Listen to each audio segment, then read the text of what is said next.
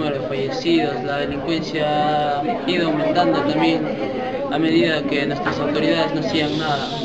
Necesitamos eh, ya combatir esto y dar por fin a la delincuencia. Muy bien. Como jóvenes, ¿qué vas a hacer? ¿Qué vas a motivar? Yo en lo personal voy a seguir luchando, ¿no? como lo dije meses pasados, para que nuestra ciudad salga de esta crisis delincuencial. Ujú. Muy bien. ¿Te preocupa mucho la violencia? Sí, la falta de autoridad, sobre la todo. falta de autoridad. Entonces, más que todo, necesitamos voluntad política para acabar con la delincuencia. Muy bien, muchísimas gracias. Él es uno de los jóvenes que en un momento determinado también salió a las calles para poder mostrar su descontento ante la falta de autoridad. Hoy ya tenemos más de cuatro personas atacadas, violentadas y lo más triste, ¿no? Se les quita la vida.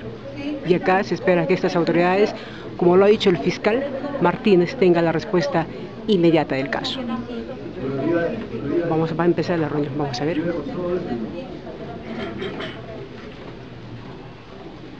eh, señores eh, miembros que representan a diferentes instituciones que también obviamente lo conforman el COPROCED, Consejo de Seguridad Ciudadana de la provincia de Huaraz.